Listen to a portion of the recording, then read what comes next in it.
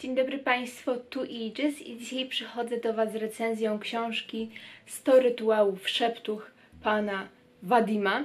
Mm, I właśnie przed chwilą skończyłam czytać tę książkę i chciałabym trochę o niej opowiedzieć, bo wiem, że byliście zainteresowani, a przynajmniej wynikało to z Waszych reakcji na Instagramie. Jeszcze przepraszam za tło za mną, ale jestem w trakcie przeprowadzki, póki co e, po prostu będziecie podziwiali tą e, minimalistyczną komodę z Ikei. A więc e, po książkę 100 rytuałów szeptuch sięgnęłam dlatego, że rytuały szeptuch są mi bardzo bliskie. W ogóle magia ludowa, praktyki szamańskie są mi bliskie i dokształcam się na ich temat. Trochę o rytuałach szeptuch i chciałam się dowiedzieć jeszcze więcej, jeszcze bardziej zgłębić swoją wiedzę. I po przeczytaniu tej książki mam bardzo, bardzo, bardzo, bardzo mieszane uczucia. Tak jakbyście wleli to do wiadra i tak tym trzęśli w chwili obecnej. Może na początku przeczytam Wam trochę o panu Wadimie i opowiem em, takie moje spostrzeżenia podczas tej książki. Wadim, nie mam zielonego pojęcia jak się czyta jego nazwisko, Wadim T. to autor międzynarodowych bestsellerów, który od lat zajmuje się rosyjskim podejściem do duchowości, pojęciem karmy, jej przezwyciężaniem oraz układem planetarnym. Stworzył też metodę autokorekty. Organizuje warsztaty i seminaria, obejmujące szeroki wachlarz tematów jak uzdrawianie za pomocą karmy, metody terapeutyczne szeptuch czy ziołolecznictwo. No i tutaj, e, że dzięki sekretom syberyjskich szamanów ujawnionym przez autora międzynarodowych bestsellerów poznasz cykle, duchowe inspiracje, metody wykorzystania czakr, bla bla bla bla. Ta książka nazywa się 100 rytuałów szeptuch wzmacniające praktyki duchowe na spełnienie ochrony i zdrowie. Ja myślałam, że to będzie taki, wiecie, dziennik, powiedzmy, zapiśnik yy, rosyjskich szeptuch po prostu. Że będzie po prostu szeptuch trochę z każdej wsi, z każdego miasta, z każdego regionu i że tutaj każda z nich no nie, nie uchyli rąbka swojej tajemnicy, bo żadna szeptucha jak gdyby tego nie robi, która nie przekazuje swoich nauk dalej, ale że chociaż trochę to ujawni. Na przykład, nie wiem, czy kojarzycie, Przemek Kosakowski miał taką serię, że właśnie jeździł po Rosji i takich okolicach, jeździł do szeptuch uzdrowicieli szamanów i korzystał z ich usług. I jak y, się interesujecie tym tematem, to mimo tego, że te telewizja, to bardzo gorąco Wam tę serię polecam. I nie wiem, czemu tak liczyłam, że tutaj też tak będzie. I że przeniosę się w niesamowitą podróż po prostu po po kulturze, folklorze magildowej, ale niestety nie do końca tak było. Na samym wstępie książki autor dużo mówi o swoim podejściu, mm, o duchowości, o pędzie ludzkiego życia i jak najbardziej z tym wszystkim się zgadzam. Ta książka funkcjonuje na takiej zasadzie, że macie 100 zagadnień, mm, jakichś prostych, takich z życia codziennego e, i radę, tak? Więc może ja Wam przeczytam e, przykładową stronę, żebyście po prostu wiedzieli o co mi chodzi. E, rytuał Szeptuchy 39 opłakuje mojego partnera. Tutaj tak Wam e, pokażę. Opłakuje mojego partnera. I tutaj rada, tak? Dzieje się dlatego, że Twoja dusza bardzo szybko odczuwa. Na skrzydłach czasu odlatuje również smutek z nim związany. Musi opłynąć jakiś czas, aby poradzić sobie ze smutkiem. Energetyczny slash rytuał, środek zaradczy. Ceną za małżeństwo są często cząstki duszy. Wiedzą to wszyscy szamani. Każdy związek pochłania siłę. I drzewa są w stanie przywrócić cząstki tej duszy. Idź do lasu, poszukaj starego drzewa, nie ma znaczenia co to za drzewo, połóż kawałek folii aluminiowej na swojej lewej dłoni i dotknij czoła. Folia transformuje jego energię i przenosi natychmiast do Twojej aury. Wzmacniają one Twoją duszę i leczą smutek. I tutaj takim e, innym fontem na dole jest Rada Baby. E, podejrzewam, to nie jest, to nie jest nigdzie w tej książce wprost napisane, ale im więcej ją czytam, albo jest, a ja o tym zapomniałam, ale wątpię, bo męczę tę książkę od dłuższego czasu, że to jest babcia tego właśnie mężczyzny, tego pana Wadima. I baba radzi. Często czujemy wielki smutek po śmierci bliskiej osoby, dlatego włóż zmarłemu do trumny jakiś przedmiot, który lubił.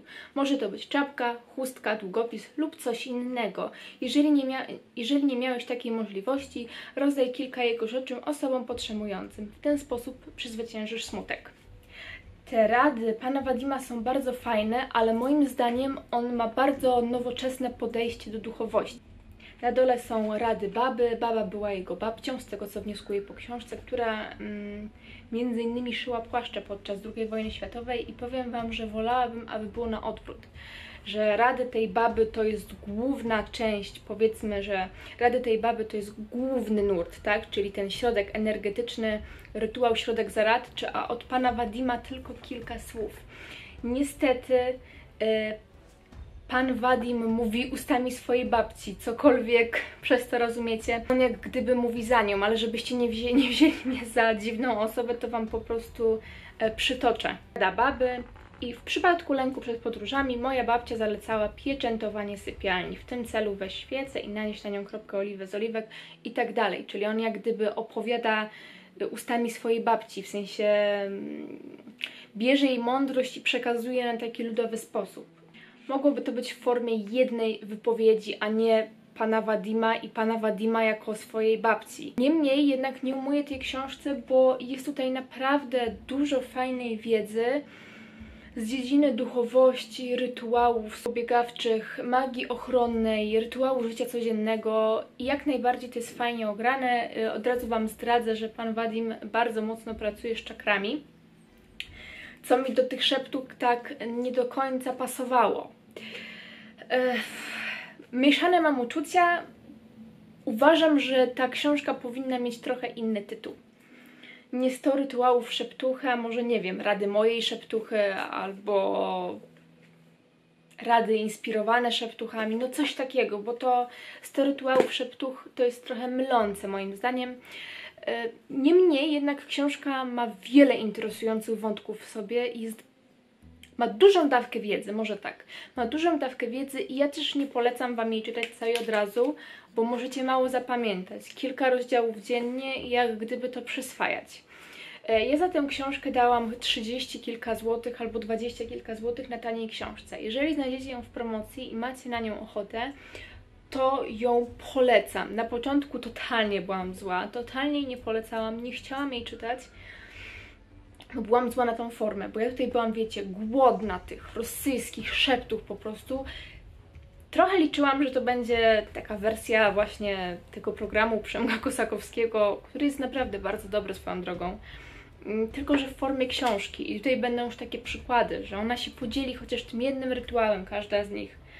A tutaj, no, ta baba była bardzo mądrą kobietą i tutaj naprawdę jest bardzo dużo rzeczy z magii ludowej, fajnie opowiedzianych, ale za mało mi tego, za dużo tego właśnie nowoczesnego, pomieszanego e, stylu pana Wadima. I o ile pan Wadim wydaje mi się bardzo interesującą i mądrą osobą, takim nauczycielem, który fajnie właśnie miesza tą duchowość, e, ludowość i ludowość i duchowość, może tak, magię ludową i kwestię duchowości, tak w tej książce nie do końca mi to po prostu do siebie pasuje. Autor również napisał cały cykl jak gdyby książek i to jest właśnie 100 rytuałów szeptuch, uniwersalny kalendarz szamański, sekrety szeptuch, rosyjski leksykon zdrowia i sekrety odżywiania według szeptuch. Ja pewnie te wszystkie książki kupię i będę je po prostu recenzować, bo myślałam, że będzie gorzej. Myślałam, że będzie gorzej, niemniej jednak trochę się zawiodłam, mimo tego, że jest tu naprawdę bardzo dużo mądrych rzeczy. I nagrywam tę recenzję też dlatego, żebyście po prostu nie mieli takiego mm, no, to miał być rytuał szeptuch, a pan Wazim ciągle pisze o oczyszczaniu czakr. Mm, tutaj mamy w ogóle e, dużo wizualizacji, dużo intencji, dużo pracy z energią, dużo pracy z czakrami i to jest fajne. E, bardzo mądrze on to opowiada, bardzo prostym językiem, że osoba nawet nierozeznana jest to w stanie zrozumieć. On też na początku tłumaczy właśnie czakry, skąd to się wzięło, jak otwierać, która czakra, jaki kolor, jaki kamień i w ogóle. Żałuję, że tych rady baby nie są dłuższe bardzo żałuję, jednakże cieszę się, że mogłam dużo z tego wynieść, z takiej magii ludowej i też poszerzyć swoją wiedzę po prostu w zakresie duchowości i rozwoju duchowego. E, czy książkę Wam polecam? Na początku stwierdziłam, że totalnie nie będę polecać, ale ją polecam, dlatego że mimo mylącego tytułu jest tutaj fajnie przedstawione pojęcie duchowości, nowoczesności, właśnie tego pomieszania z poplątaniem. Pan Wadim ma trochę podobne podejście do mnie. Tak e, poczułam. Więc jeżeli będziecie mieli okazję kupić tę książkę w atrakcyjnej cenie, to jak najbardziej Wam ją polecam. Podlinkuję na taniej książce, bo może nadal będzie tak tanio. Nie wiem jak reszta tej serii. Ja widziałam, że Sekrety Szeptuch mają bardzo słabą opinię na Lubimy Czytać. Skuszę pewnie za jakiś czas i dam Wam znać. E, Moja, moim zdaniem w skali od 1 do 6 to ta książka to ma trochę 4 minus, może tak? Właśnie za ten tytuł i że tak mało jest rad tej baby. Jeżeli jesteście zainteresowani tym tematem i nie pragniecie tak do końca właśnie samych rytuałów szeptuszych, a może bardziej takiego nowoczesnego spojrzenia, bardziej pomieszania z poplątaniem mm, i dwóch dwóch stron patrzenia, dwóch stron widzenia, bo to też warto zaznaczyć, że czasami ten rytuał, środek zapobiegawczy, a ta rada baby się bardzo od siebie różnią. I to też są takie dwa punkty widzenia na jeden problem, to też jest fajne, teraz mi to przyszło do głowy. Nie, są to, nie jest to do końca 100 rytuałów szeptuch, jest to, są to rady pana Wadima i jego baby. Więc 4 minus ja ogólnie polecam, szczególnie jeżeli będzie w atrakcyjnej cenie.